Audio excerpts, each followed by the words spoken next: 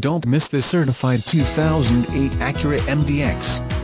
It's equipped with automatic transmission and features a Nimbus grey metallic exterior. With 11,482 miles, you'll want to take this car home. Make a great choice today. Contact us and see this car firsthand.